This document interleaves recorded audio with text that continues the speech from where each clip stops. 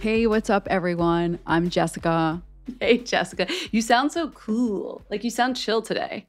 Because it's the end of the day when we're recording this, and like I've had it. but we're bringing Ju- we're like we're gonna have fun a little bit on this no, episode. no, This I'm having I'm having fun, Jen. Jen, I'm having fun. We just you, you and I just recorded something else for like an hour, and I'm like feeling like it's like a lot. It's like when you're in a room for like an hour and like there's no light, and you just leave the room and you're like, oh my god, I'm going crazy. Let's go get food. to be clear, in case Jonathan Van Ness listens to our intro, we're not talking about the recording oh no, because that that's very sweet fun. of you to like to assume that he would think that. No, never. This is Fat Mascara. If you're listening to the show, you probably know this. This is our podcast about all things beauty, culture, and in between. Beauty Yes. culture.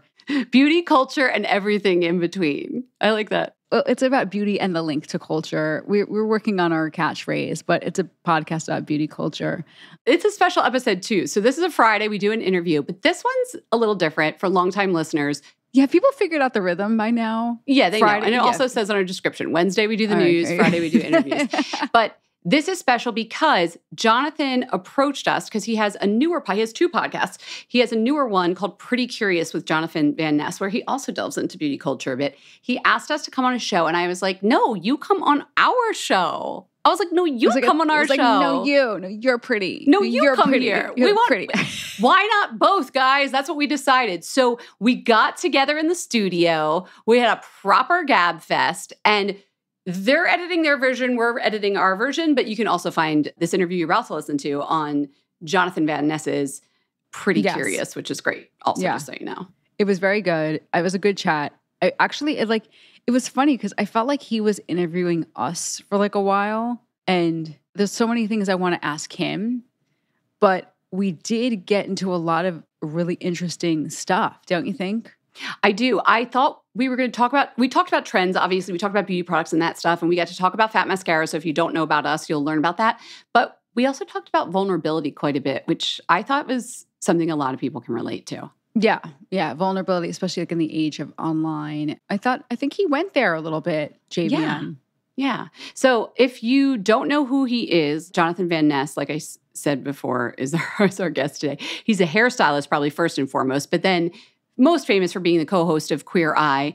He's also the founder of JVN Hair, a gorgeous line. We've had their creative director on, if you remember. Mhm. And he has two podcasts, including the one that we are talking about today, Pretty Curious with Jonathan Van Ness, which you can find wherever you find your podcasts. So I think we should just get into it. Welcome, Jonathan, to the studio.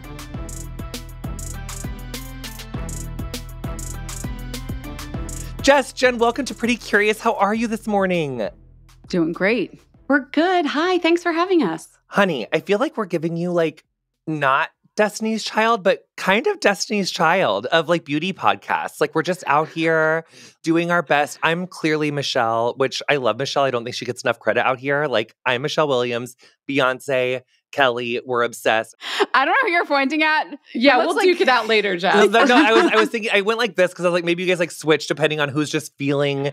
But I also I We'll feel trade like Ke- songs. but Kelly doesn't get the credit she deserves either. I'm sorry. I love Kelly. I'm, I'm here for She's got pipes. Yeah, The totally. Most gorgeous pipes.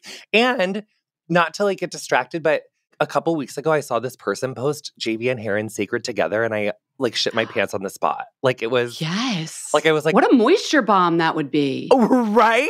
Yeah. Just like I'm me and Beyonce's hair care line playing together. It's like not their fault. I'm so happy. But wait, how are you guys? Doing well. Hot. We're hot. Where do we where do we find you guys this AM geographically? I'm in Brooklyn. I'm Jen. I'm Jess.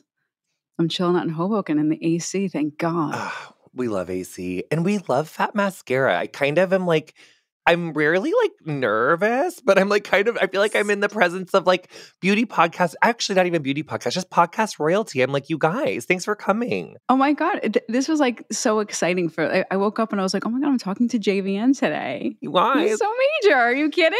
you guys. Are you kidding? I mean, no, I'm here. and we're- okay, so because you know, getting curious, we're really giving you like a trip into my ADHD in terms of like what I'm interested in. Like, you never know. We can go there. You never know.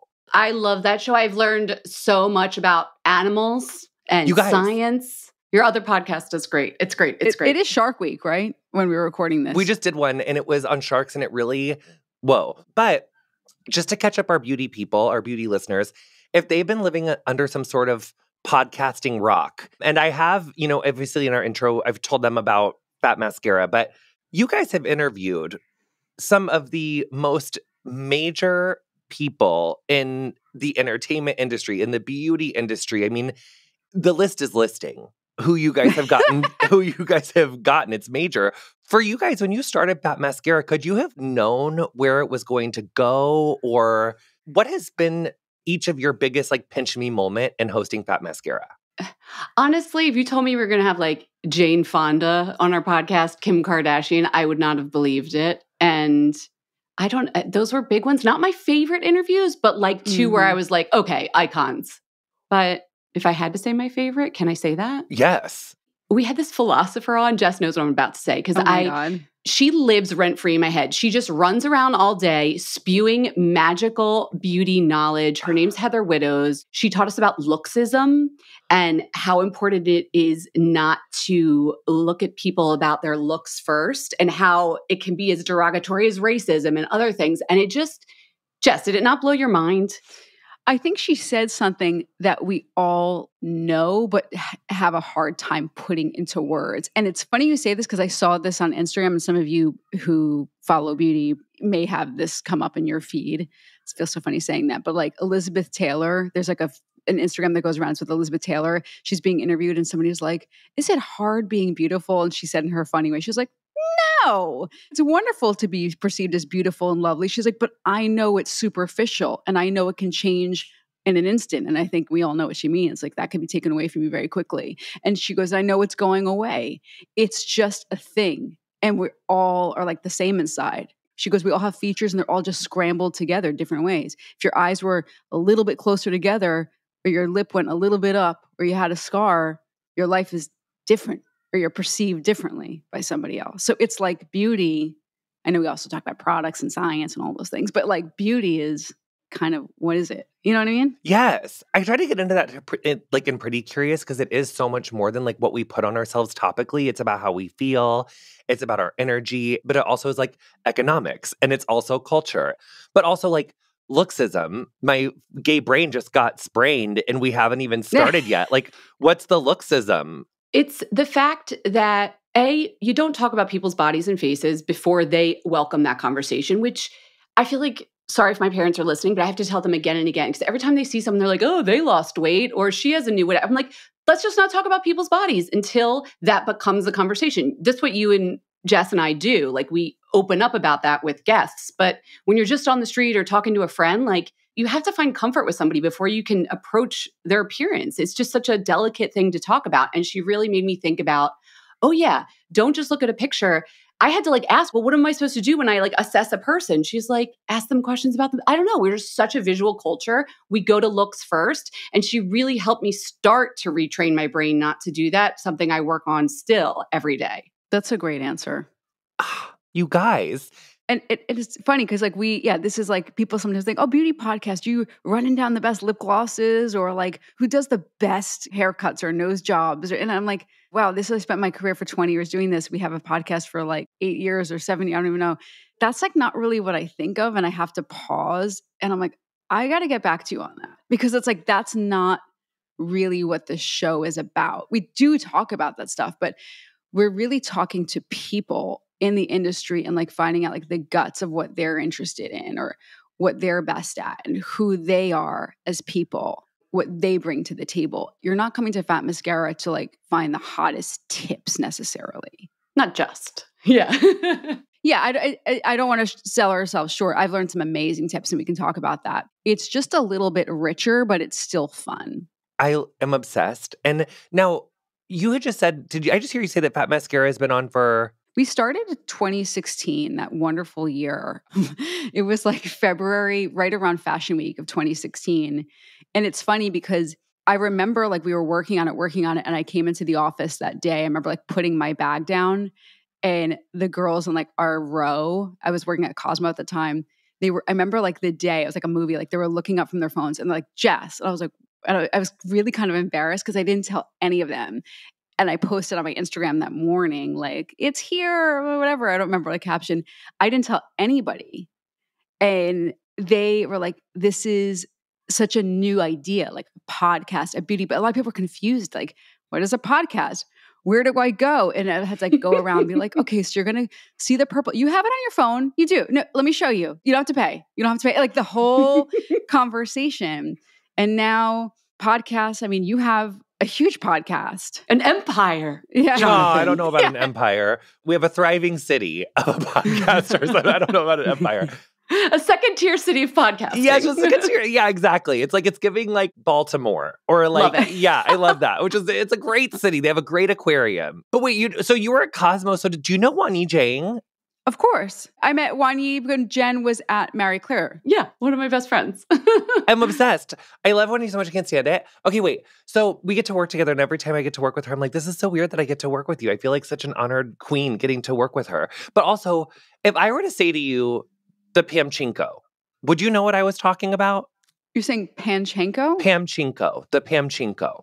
No, I'm thinking of the Korean TV show Pachinko. So it's no. from the 1994 cinematic classic, The Cutting Edge. It's about a Paris figure skating duo, and they Toe pick. do this. Yes, Toe pick. It's Toe pick, and but the move that they're trying to do is the Pamchenko. And the reason okay. I assign Pamchenko to you guys is because, like those pairs, they were on the cutting edge, which is the name of the movie, of like figure skating fucking moves and skills. You guys were on the cutting fucking edge of podcasting, okay? You guys were literally the pioneers of beauty podcast. I mean, 2016, eight years, like that's a long time in podcast years. Like this is major.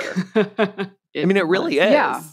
During that run, I got to ice skate with Johnny Weir. Does that count for something? I, yeah, I, Yes, that's absolutely major, and and, and I, we love Johnny in this. House. I wiped out so hard. I like remember the bruise, Jess. It was yes. my entire leg. Anyway, so let's keep the analogy analogy and not real life because we'll take it at that yeah, point. We love Jess and I figure this. skating would be nuts. I don't know. I can't speak for you. the reason that I was bringing up time is just because I was thinking like the beauty industry since you started Fat Mascara has just transformed and transformed and transformed again. I think about TikTok and like how important and just landscape changing TikTok has been to the beauty industry. Like there's so many incredible artists who are in my For You page that I am just like blown away with their talent and their skill and their artistry, like in terms of hair and makeup. Like I just, I learned so much on TikTok and I feel like it's, it's I, I just think that social has also changed podcasting has also changed beauty like a lot of the conversations have just changed like what's your experience been of like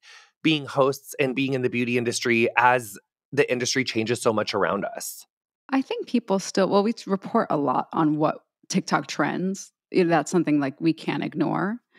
But I think people still want like a richer conversation about like what they're seeing. Like we're, we we do is like we break down the trends and like we talk a lot about beauty and how it impacts culture. So recently somebody asked me to comment on like strawberry girl makeup and strawberry in fragrance.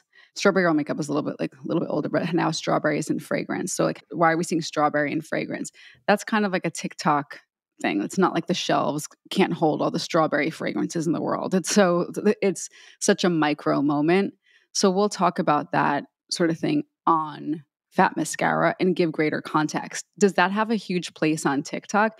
No, but our podcast is a home to talk about that kind of thing in a richer way. And we have people who are fragrance enthusiasts, executives, retailers. We have all kinds of different people listening from all corners of the beauty world, from like people who are just obsessed with beauty to people who are actually in the industry listening. And that's what is like very special about our podcast. It's not somebody who's just thumbing through and wants like to hear 30 seconds. Has there ever been a time where, because this is one thing I feel like I've noticed is a change. When I first started in social, it was obviously such a long time ago, but I didn't feel as, especially on TikTok now, and even in like podcasts and beauty podcasts more generally, people are so excited to tell you that you're wrong or the thing that you talked about isn't right. It's like the negativity bias goes so much further than being like, oh, yeah, that's great. I align with that. Like, no one wants to hear that you agree. They want to hear when you're really pissed off. There's one person in particular on TikTok who I'm so afraid of. Like, when they come on my FYP, I'm like, like oh a my- commenter.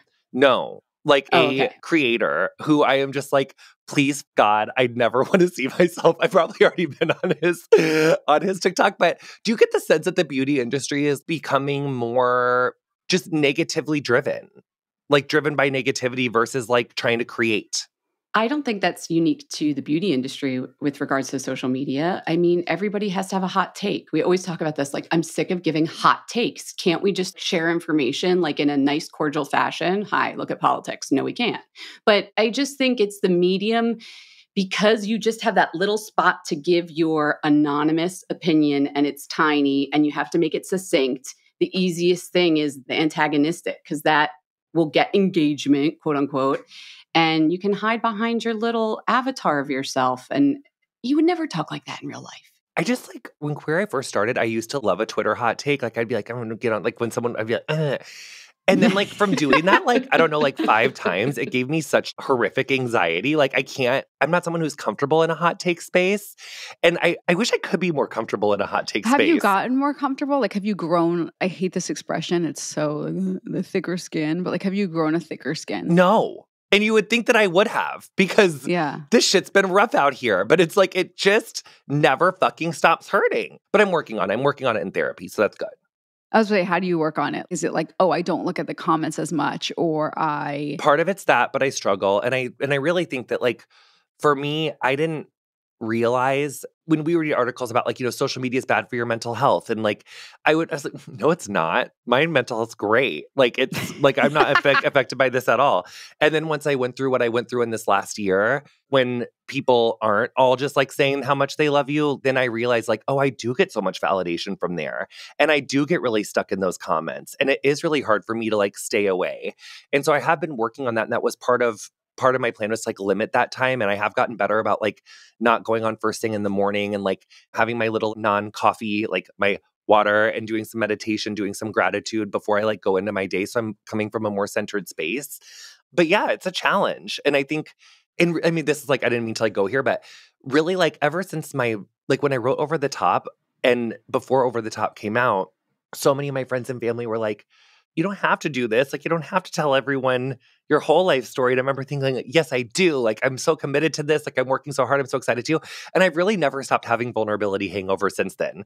So, and that's been like five years. yeah, that's a great that term. Is that did you make that up? No, it's from Brene Brown. Oh, So much of my inspo comes from Brene Brown. I love her. vulnerability hangover. That's a very real thing. And you're, it just kind of gives you like, it can just kind of get you like stuck. So it's like every time, it's almost like I feel a little like ostrichy. It's like I just don't even want to know what people are thinking about me or talking about me. And it's hard to get away from that on social when you get to like a certain place in your career. And that part's like, I just, it's hard for me to like leave that behind, but I want to.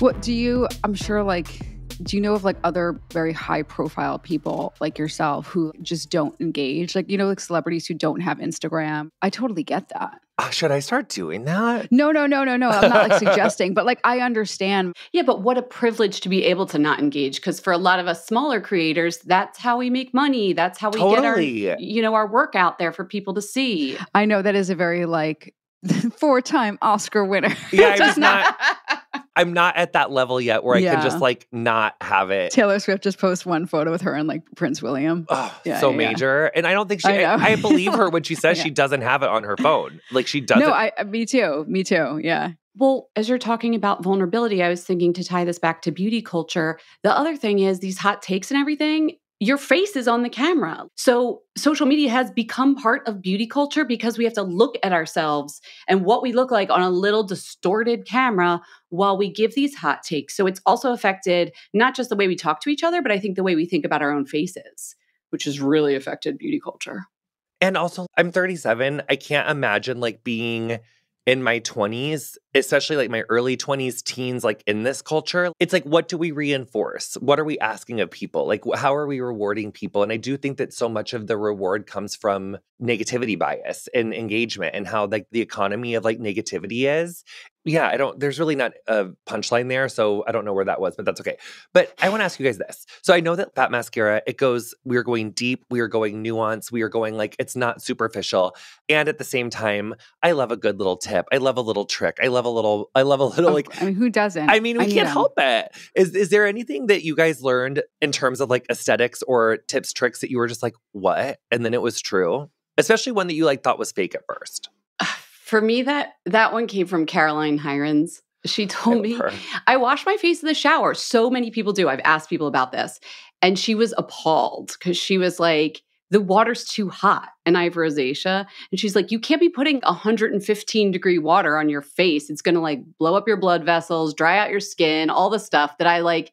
The science brain in me was like, damn it, she's right. You wash your face with tepid water. It's just so much better for you, even though most of us don't. Like a warm, you know, just not a lot of people like a hot shower. So I've taken to not putting my face into the shower stream. I do that when I wash my hair. Like I don't like rinse my hair out in like the world's most scalding water is like I do when I'm washing my body. I do make it cooler, but I've never applied my face to this tactic. Yeah. So if I I I tend towards redness always. So when I stop doing that, I think my skin gets less flushed. Thanks, Caroline. Okay, anyone who listens to this is going to be like, girl, we know, but it's still like the best tip ever. Basically, I embraced blush like long before the trend, long before the, like, uh, well, blush is okay. Blush is like an always a thing. I hate when people say blush is a trend. Like, no, blush is like a product. It's like being like lipstick's a trend. Like, no, blush is like a foundational product, like no pun intended. But it was always like, oh, it's like corny. It's like such a mom product. And then Christopher Buckle, poor Jen, is like, so I feel like with a married couple. She's like, I've heard this already. He's like, you need blush as you're getting older. He's like, without it, you look like a thumb. It took me like a second to like hear him. and then once I heard him, I was like pissing myself. It still makes me laugh. It's really so true. And then I was like, oh my God, I do look like a thumb. Because A, my face has gotten more like ovular, like longer as I've gotten older. and I'm like, oh my God, I do look like a thumb. And then you put the blush on, and like lo and behold, There like she my is. cheeks are like ballooning back up. Suddenly, like there's that heart shaped face again. There she is. Put more on. Oh my God, I'm like Sabrina Carpenter. It's like, Ah. I'm like cute again.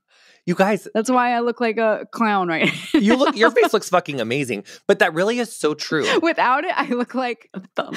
like I don't know, like a grandmother. Okay. on queer eye like i do my own makeup and i've like Do I've, you? yeah and I've, I've learned how to do it like over the years and at first i was like i only just i was like i just wanted everything to like match i just like wanted my under eye skin color to be the same as my face i just wanted everything to be like the same color and i thought that I was was, what was really cute then finally my best friend who's my makeup artist when i'm not on queer eye like if i'm on tour if we're doing something together she was like girl i don't know how to tell you this but you really need some fucking dimension on your face it's Mm. just literally one color, which in nature just doesn't happen. Like your face is literally one color. And I was like, I like that. It's giving blend. And she was like, girl, like, please just put some fucking, like, just toast your edges a little bit, put just like a little color on your fucking cheek. First, I was like, I'm never doing blush, but I'll do bronzer.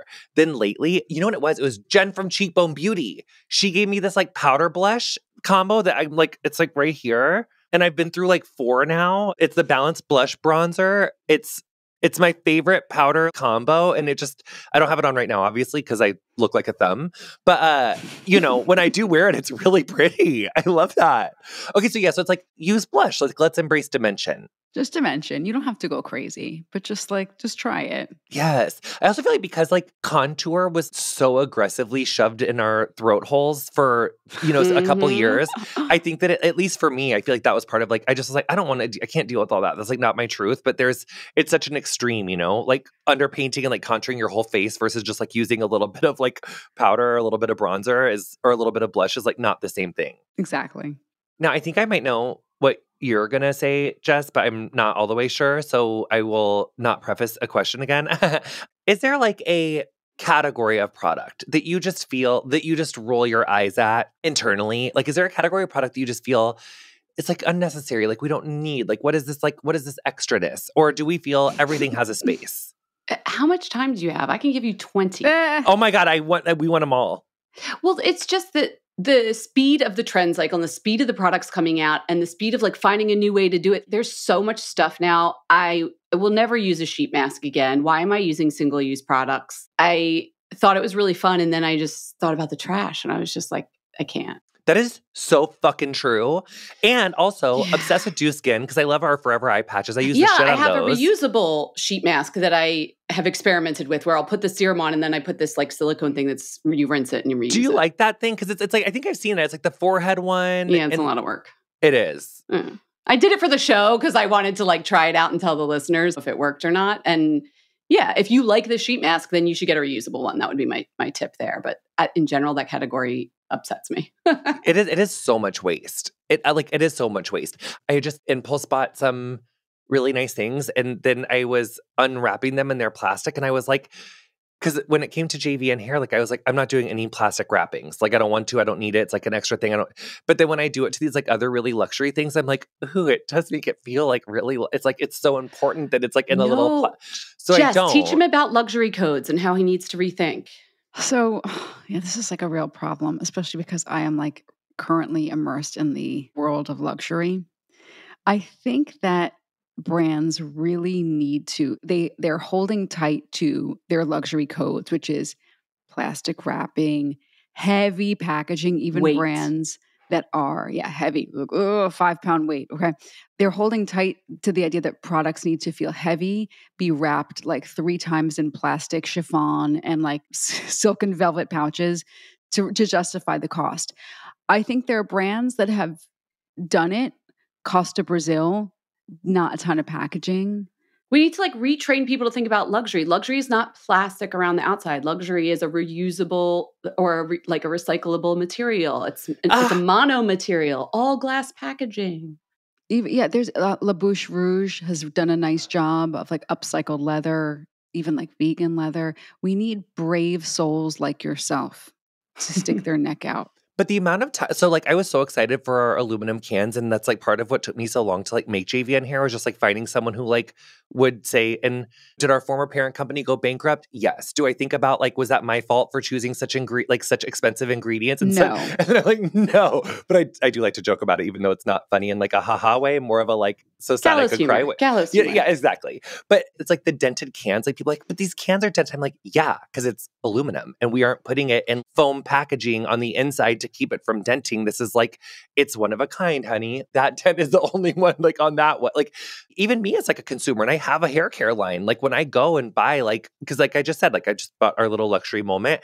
I was like, ooh, this is chic. Like I still even think like this, and I have made decisions in the opposite. You know, in creating my own line. Oh and yeah, it's hard to get rid of that mindset. so retraining for luxury, I like that idea. So we got to do that. This is important. Okay, so sheet masks for you, Jen, Jess. I don't think I got. I we started. I started. I talked too much. Oh, no, no, I'm I'm not a huge fan of sheet masks. There are under eye patches that I like. I really do like the 111 skin ones, but I don't go a- around buying sheet masks the way. I just never. I, I- they make me feel cold. I'm just not just uh, the thing aside. I just don't like the feeling of like a wet blanket on my skin. I think we talked about this before offline. Lip serums, basically anything that has two words that you would never really put together and you never put them together before TikTok. I'm skeptical. If you didn't need this product urgently and now suddenly you do, I question it. You know what I mean? Yes, I'm not saying it doesn't need to exist. I'm just saying question it. and it's like what even like what makes a lip serum different? Because like wouldn't a lip gloss with like skincare ingredients in it then just be a lip serum? Isn't that basically what it is? Or Yes. it's marketing. It's just the adjectives. It's a lip oil. It's a lip mask. Put those critical thinking skills to work. I know I know you've got them. I know you've got them. I know it's like saying that is like it's it's hard to say it, but the critical because what really comes out is, uh and then I just disengage when people like ask really silly questions over and over. And I'm also trying to get better at when people ask me a question that I've been asked fifty thousand times, like not to be irritated. This is an opportunity to like to talk to a new person, like not bring all of like your past irritation into it. But it's so hard. yeah. Talk to us on year eight of Pretty Curious and we'll see how you feel because, yeah, you have to remain curious. Otherwise, you get jaded and cynical and then you lose the specialness that is It's so you, that is us, that is podcasts. So, For both of you, how did you come into an obsession with beauty? Was it like a classic obsession with beauty? What drew you in to this industry, Jess? I mean, I feel like we need a therapist couch. Like, what are we gonna? there's no, there's no time for this. I actually really feel like if I'm gonna just boil it down in a nutshell, I think there's something very. It was not about like, oh, make me beautiful. Like I want to feel. Like, it was. It, there's something escapist about little beautiful. I, I was obsessed with beauty as a little kid. Little beautiful objects. They're fantastical Charles of the Ritz gift with purchase, the Sun, Moon, and Stars fragrance, the Todd Oldham fragrance with the crown on it. Like these were, whether it was $50, $10 at CVS or $100, these things felt like an escape from my everyday life. And if I could be in my room playing with them, I felt like I was transported like some kind of children's movie. You open it and it's like a portal to another world that was fantastical, glamorous, exciting. It was like almost like enchanted garden kind of feeling. Mm. And it what fa- I was interested in fashion too, but fashion to me always had that kind of it felt less accessible. Beauty, I could go to the mall and once I started making money, I could have it all. The mall. We love a mall. yeah. It was much more achievable once I was able to work in beauty. It was like just the doors blew open. Jonathan, where did you shop for beauty when you were growing up? Like, what was that magical place for you? It was this like department store in my hometown, and my first love was lip smackers. Oh, yeah. I do like a bit in my a couple tours ago. I did a bit about how I couldn't decide if I wanted to like put it on my lips or eat it, so I would do both. And my mom would get so mad at me because she would look in the back seat and I would just be back there fucking chomping away. Yeah, putting chapstick on with one hand, but then like eating the other tube. Like I was partial to eating the grape, but using the cherry, um, like on my lips. So I couldn't tell. I just loved. I loved it all. And then I think it was also like salons going to like get your hair cut at J.C. Penney. I was like, what is this biolage? Oh, like I, I love this. I forgot about the J.C. Penney salons. Yeah with their headshots like in the like in the lobby, yeah. and I'd be like, "Is Carol here?"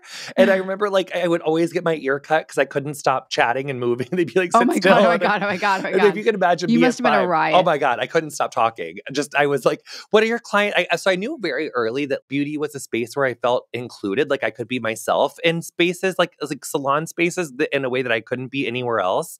It was less about like wanting to look a certain way and more about like just wanting to be included. And yeah, beauty's very welcoming that way. Yeah. Yeah. Were the women nice there? So nice. Carol was the best. There was a Carol at every J.C. Penney, wasn't there? She had a perm and she loved me.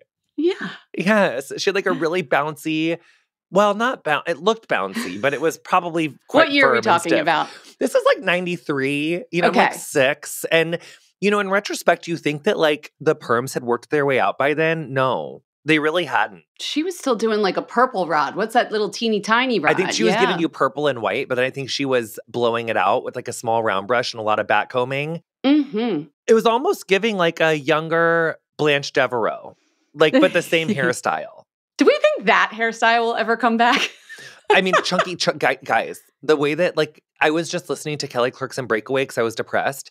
The way that these chunky highlights are full and people are unironically wanting them and using it for inspo, like big panels, big, huge chunk chunks. That's so funny. That was my first celebrity interview with Kelly Clarkson, like early in my career. And she had like the two money pieces, we called them. Oh, yeah, I, honey, we love a right money around piece. the face. Yeah. And that still is like the moment. Did you ever have a money piece, Jen? Oh, of course. And I did it with Jolen cream oh my God. bleach, which used on my mustache, obviously, because I had a, a, beautiful mustache and unibrow as a teen. But then I was like, I wonder if this works on your hair because all the lighter skinned and lighter haired girls could use the Sun-In. And that just was like turning me orange. So I was like, I'm just going to go in with Jolen. So I did the two pieces on either side of my center part. Yes. I was hot, guys. I was. Can so I also hot. just say, like, who really popularized that to me in retrospect? Who? Who? Anna Paquin as Rogue. oh my god! Yes. Wait, maybe this is why I let my white streak grow in. Maybe that early that informed it because I've gotten Rogue when I walk around the streets. People are like, "What's up, Rogue?" I think I it really was her. Streak. Yeah. After that, like everyone was like, "Like I want two pieces right here, and I yeah. want them bleached, and I want them light." Just can't help it. so did when you were young, did you know that you like wanted to end up in the beauty industry or did it just like happen randomly? I was thinking that I would go into beauty or like like fa- like I wanted to be like a beauty or fashion person in magazine or music. But when I got to my first internship, I was in the fashion closet. And the first day I was like, no, thank you. And then I and then I went to the beauty department. The fashion girls were meaner. It was just it was so much uh, this sounds awful, but I just knew right away. It was like you were just taking pictures of the clothes, wrapping up the garment bags. It was so physical and I ripped at an Anna Sui skirt for my first day at the internship and I ripped it. Right, it was a wool skirt, ripped it because all the bending and stuff right up to the the tush. And I was like, this sucks. So I went over to the beauty department and I had the nicest internship advisor. And she was like, You can hang out here. You can sit with us. That was sweet of her. You can sit with us. So I did beauty and then I helped the music writer. But the beauty thing took off more. And I think it worked out the way probably it should have. It did. What about you, Jen? I was fascinated with, even at your early age, like how do we get people to buy these things? The packaging is telling me to buy it. Like, like, just I loved advertising. I love the psychology of the words that you used would make someone buy something. And so I always thought lipstick. I knew, I don't know, I didn't know cost of goods at a young age, but I was just like, there's $2 lipsticks. There was the Wet and Wild I bought, and then there was the Chanel. And what was the difference? And how do you get people to think that way? So I went on to study psychology, but the whole time I worked in beauty retail throughout college. And I was just like, I need to get into this world somehow. But I thought I'd be on the business side but I ended up on the editorial side, which is more fun. But it's a mix. Like I'm, I'm circling into, I'm circling into like what we came here for. I'm so sorry. Like, so when I was growing up, it was like J.C. Penney's, magazines. That's where I got my beauty info. It was like for either from the salon or like beauty magazines. It was like if I went on a trip with my family, I would beg my mom to get me like Marie Claire or Elle or Cosmo or Vogue so I could like look through the pictures. I didn't really read. I just was like, I want to look at these amazing pictures. I loved the hair and I loved the styling. And actually, well, if I was to stick there a little bit more, that was like how I learned about like Alterna or like Shu Uemura, which was like two of my like original like fell butt and also Aveda. Like that was like where I learned to be butt crazy in love with like certain lines and like certain brands and like was like, ooh, this is like equating a brand with cool. So it's like in the 80s, 90s, and probably like early aughts, magazines I feel like reigned supreme. Malls were still really a, a place of obtaining products. And that now is really totally different. I feel like social media made it so that like everyone is more of an expert. You can get your information and you can get your like cool vibes curated from creators. It doesn't have to be curated from these seven editors or like these six editors. It's like the beauty industry is just so much bigger and wider. So when we think about where people shop for beauty products in our heyday and then you compare that now to like the Sephora girls and like and where people are yeah. obtaining their beauty information now how do you think that these two snapshots of time let's say 1994 versus 2004 and then 2024 how has this beauty industry changed for the people that have been coming up in those times I think the walls have literally come down in that, like at Ulta Beauty and Sephora, you can actually try the department store products. Like kids today don't know department store counters. Like that counter was like a blockade. Behind here is the special world, and you need a lady to help you figure it out. Like you needed a guide. And now you can kind of be your own guide, which I think makes people more creative with the way they buy products and the way they try them on their faces and everything. However, there is something to be said for like, I don't know, the person who teaches you about beauty and welcomes you into that space in a welcoming way and doesn't make you feel competitive with your friends that you have to have the best, fanciest, most expensive one. So there's there's highs and lows to that, I think. But that's for me how it's changed. What about you, Jess?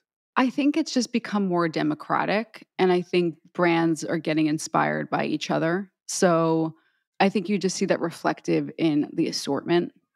I, I think you see more luxury brands that are trying to look more like kind of youth culture brands that are appealing to 15 year olds, 25 year olds.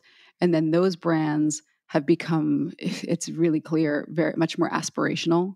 And they're trying to age up in a way that when I was shopping for beauty as a younger person, it was very clear what was a teen brand and I don't think you see many teen brands anymore. I think all of them are trying to be luxury brands. That's so true. So I th- it's completely eroded the idea of a brand for young people and the idea of a brand for older people. I think they're all trying to play in the same space. I remember the first time I went into the Grove and saw Shu Uemura like freestanding by itself. I'd only ever like read about it. And then I was like, I got money saved up from the salon. I'm gonna like go buy some skincare. There was like this anti-aging cleansing oil. And I was like, well, I don't need that because I'm 22. I'm like a literal baby. And, Yeah. I'm- and now I feel like people in their 20s and even teens are like fully embracing this like sort of anti-aging preserve, which is I can't tell if I'm jealous or if I think it's too much. Like that I didn't No, I, I I wouldn't be jealous. I think it's I I don't think it's a great thing. I think that I agree with Jen that it's there's something good to this idea of like walls of kind of exclusivity coming down, but I don't think it's a good thing that I think there's a rush to sort of age up younger people. Carol wouldn't have done that. You know, like to Jonathan, like she would have been No. like, honey, you don't need the anti aging oil. Yeah. And it, it's also like a push, kind of a, a grab for their wallets a lot sooner. And it's also making, I think, older people sort of like making them all play in the same space. It's also gotten, I think, more difficult for brands to sort of know who they are. Yeah, that's true.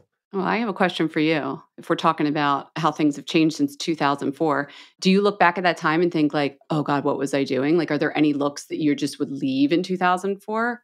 So many. I had like ketchup colored hair with like mustard colored highlights that I thought was oh really my chic. God. I mean, that's giving ginger spice. I'm not mad at that. It was it was a look. It was um I also would do like flat ironed swoopy fringe with curly top and back with sides shaved. I was really giving you like emo swoopy fringe vibes. Oh my God. Yeah, and then jet black. And then what would happen is I would fuck my hair up so bad with color that I would just have to shave it off. I would just like do a full buzz.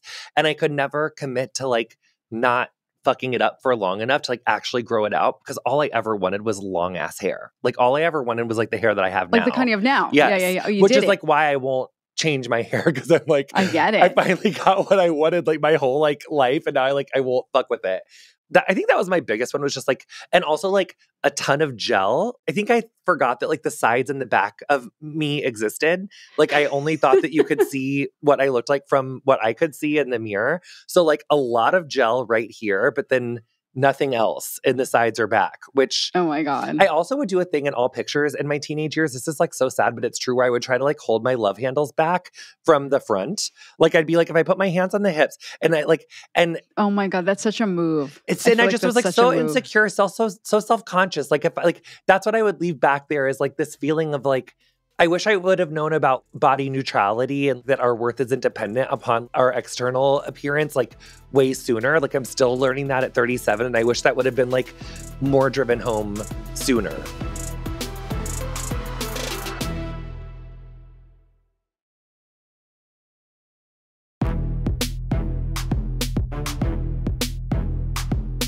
That is a concept that I can't even imagine those words being like uttered. Those are two words that I don't even think were uttered out of anyone's mouths. You'd have gone to the insane asylum. like, did raise your like somebody re, please write me if that like was uttered in a book. Maybe like there was a book called Body Neutrality published in 1994. No, I don't know. I regret, like, I fed into that. I worked at a teen magazine in 2004, and I remember writing, like, how to get six pack abs. What?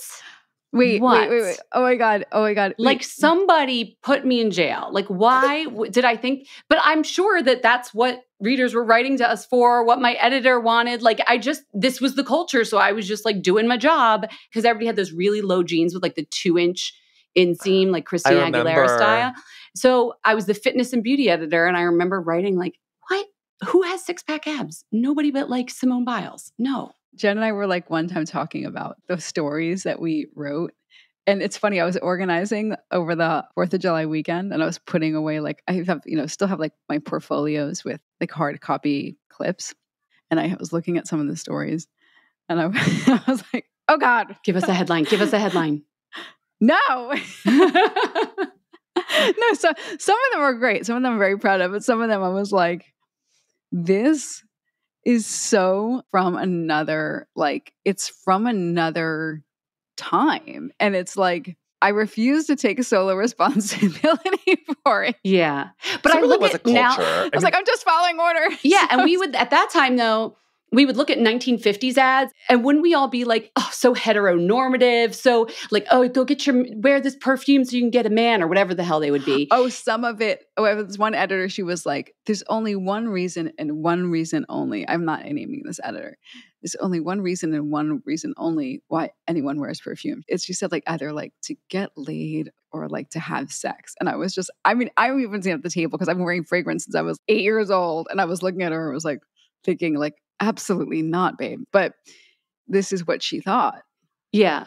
Well, I those ads sem- seemed so out of touch. And in 2004, we're like, ah, oh, we would never write anything like that. And now here we are in 2024, and I'm looking back and being like, what we did in the 90s and the early aughts seems so out of touch. So it's totally, totally it just continues the game. But some of us did have the we had the like, like the good sense of mind to know that that was wrong, but like we were not in positions of power to be like Right. No. Like my editor would want me to do a weight loss story and I'd be, let's do a tone up story instead. Like I yeah. thought I was making it, softening it by making about getting muscle Walls. instead. Right. like, because I knew you wouldn't say, you need to lose 10 pounds, teenage person. But like, yeah. it's still horrible. I don't want that to be my legacy. I'm spending fat mascara to like fix that now. this podcast I love is my that, retribution. Though. That's it's, good. A, it's a response.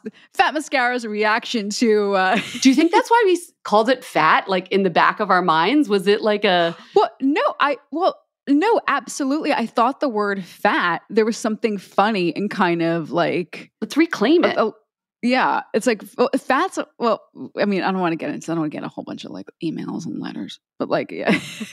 it's like, we, it was just kind of like, well, there was the big mascara thing. Because at the time, how's this to like kind of be, put you in the moment? There were a million mascaras, and it was like the mascara wars. It was like Maybelline had one, CoverGirl had one, Dior had one. It was like bloop bloop bloop bloop bloop bloop bloop bloop bloop. They you know, it was like pumped up big tubes. The competitive, silly, outsize, ridiculous nature of the industry. It was kind of like, all right, we're gonna call fat mascara. It was just like, what's stupid and funny and, and memorable. Hyperbolic. But it's also like fat was just like was funny.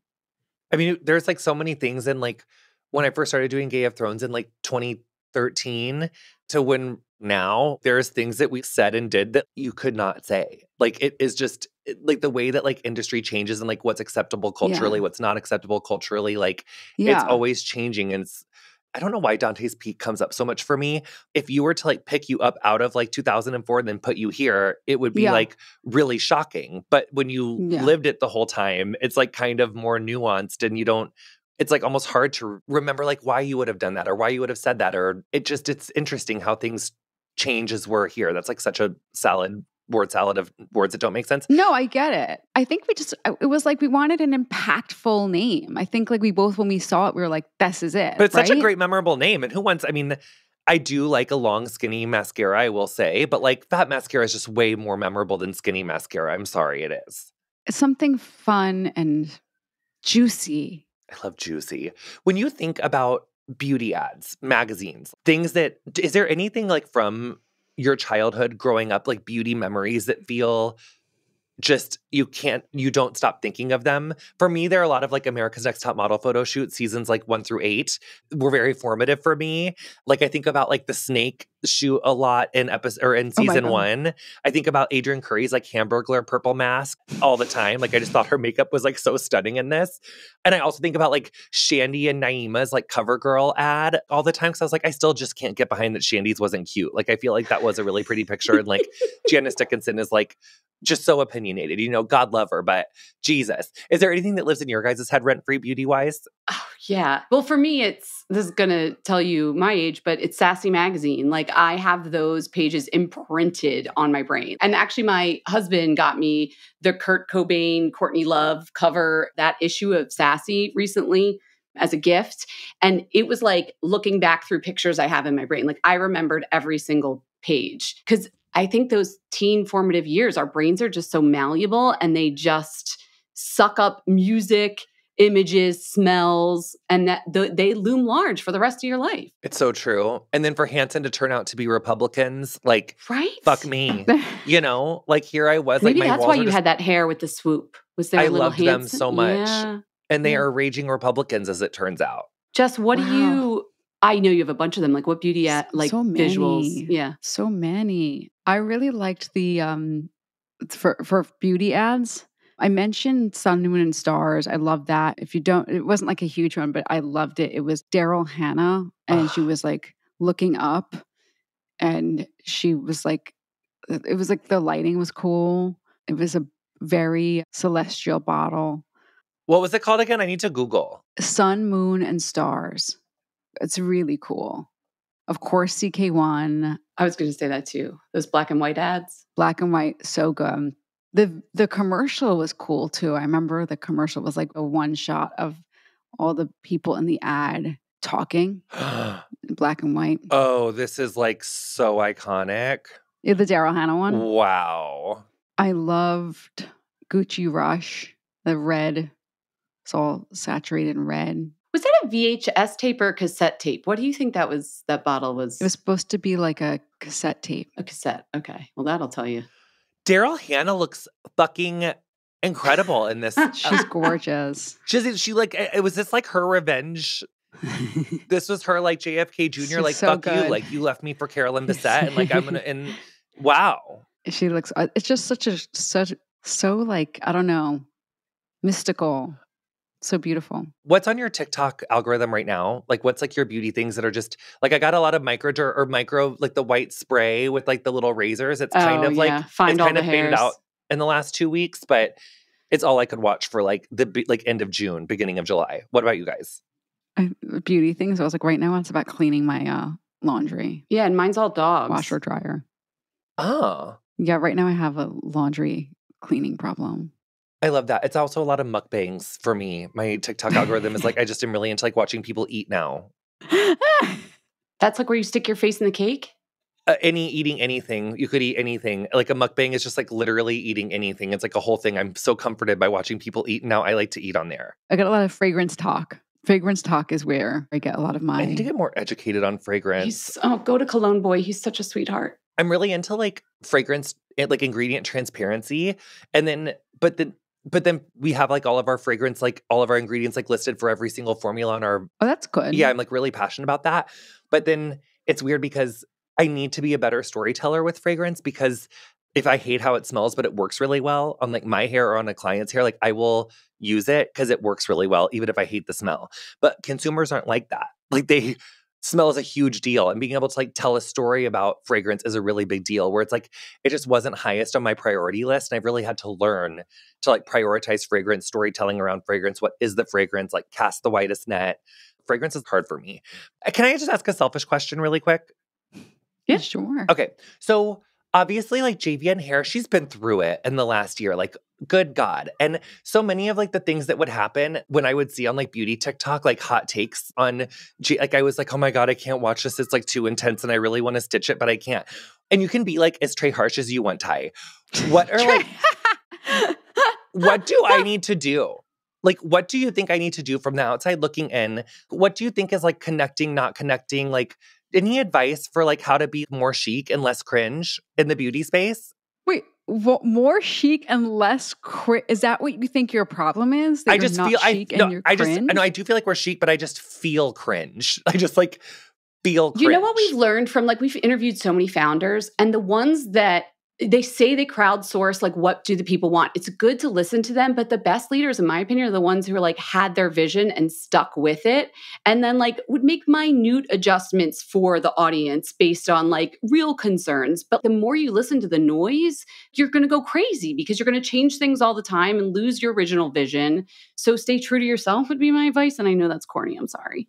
No, that's such good advice. And that is basically what I do. So that's good. Yeah why do you think you're cringe? I think I just feel like between like the bankruptcy of our former parent company and then not your fault which I, I know it's not my fault, but people don't know that. And I've just seen like so many icky videos about it and then just like icky videos about myself personally that it's like when you realize it just it hurts when people have an idea of you that maybe isn't true or like an idea of like how things happen that is not true. And it's like you can't spend the rest of your life trying to correct what someone thinks. they know nothing about your industry Yeah. And you just said it. You can't spend your life correcting those people. Yeah, and these people have not put themselves out there. They've Where's your line? You know, Bobby from wherever. Like, Yeah. we don't see you making a line and knowing how the business works. Sorry, I'll get real mean real quick on this. They're not paying your bills. They're not paying your rent. They've done nothing. They're making a comment on Instagram. Easy to sit Goodbye. in your little sofa and give an opinion. So it really is just like coming back to like where does your validation come from, which is something that we're working on now, and then just staying true to staying true to my vision, which I have a vision. I just need to like continue doing the vision. yeah. Very Lion King, like remember who you are, Simba. Y- yes. Remember who the exactly. fuck you are, diva. Yes, I love that. Okay, let's do your. Or, well, what- so we got this right now. Okay, this is our rapid fire round, and then we'll do. Do you want to do this last segment, three rapid fire round, and then do your five minutes, and then we'll be done? Yeah. Okay, cute. Okay, Fat Mascara 5, we do this with everybody. What piece of art, can be visual, music, poem, book, whatever, will you never be bored by? Paintings, like An- literal any art. particular painting? I have this piece of art by someone called Adrienne Nieves, who I'm obsessed with. I love her. I love her Instagram. She's just so fascinating. I love her so much. She- She's been on my pod. I have this one piece of hers in my living room that I love, and it's my Love favorite. that. Who's your fantasy podcast interview? Dead or live? Could be anyone. Definitely Mariah Carey. What's your favorite snack? Brown sugar cinnamon pop tarts. yes. That's a cute. good one. Okay, it's 11 a.m. on your day off, whatever day that is. What are you doing? I am probably finishing up some Fortnite with my friends and then going to play Stop. yeah, and then going to play pickleball with my husband and our pickleball friends after that, probably. These are the trendiest hobbies. I love, love, love. You love. are Okay. very cool. I'm obsessed with Fortnite, you guys. It is Do you play with like other people in other countries and stuff? Well, my all my friends play, so like usually we play together. But lately, if they're busy, I have been doing like fill instead of no fill, where like if you play a squad, like it will bring other like random people in to fill out your squad. But I always turn my microphone off, and so people will never play with me more than one round because like I won't talk to them because I don't want anyone to be like, "Oh my god, you sound like that," and I'm like, I don't want no, leave me alone. What's the longest you've ever played Fortnite for? Easily five hours, like four or five hours for It's sure. A lot of screen time, John. So so much so in fact that when I discovered the page on my PS5 where it says like how many hours you played in the last month, there was like a month where I literally accumulatively played for a day of the month and I was like, "Oh, but it feels good." And I was going through it. Of course, we get it. We get it. Okay, last Fat Mascara 5. What do you need to get your beauty sleep? Really I am such a fucking hardcore sleeper. What I, I can tell you what I don't need is eating a bunch like right before bed because then it like wakes me up at like three in the morning and I feel like I have to poop and it's like three hours before I really would normally you poop. need a so- quiet digestive tract to go yes and and i i just but there's something about 10 o'clock where i'm just like mm, that chocolate or just like anything that's nothing is safe from me at 10 o'clock at night like food wise and i just so but i wish i could stop that because it does give me tum tum aches in the middle of the night do you actually have? Do you have to use the restroom? Do you actually do use the restroom? In the I just, I just like feel like it but that is the thing that usually wakes me up is like needing yeah, to go to the bathroom It's very regular yeah, that's great. I love the, this ending for our podcast collaboration. i don't love can i read no no no no no what I need, I'm, gonna I'm not doing poop. This is what it is. I talk about poop too much on my fucking podcast. I'm not going to do it on yours. It, we, you know what it is? It's better. It's like just no caffeine. Like we just like that's what I really need for a good night's sleep. Is like a little bit of caffeine or a little bit of no caffeine, and then I can sleep really good. do you like it cool? You're in Texas. I do like it cool. Definitely not too hot, and also like my a cat or a dog to cuddle with. There you go. That's the missing link Yes, you and then I feel really complete. This is great. It was so fun collaborating with you. Thanks for doing this with us. we hope you enjoyed the show. It's your reviews and feedback that help us make the podcast even better. Head over to iTunes to rate and review us or email your thoughts to info at fatmascara.com. We also want to answer your beauty questions and hear what products you love.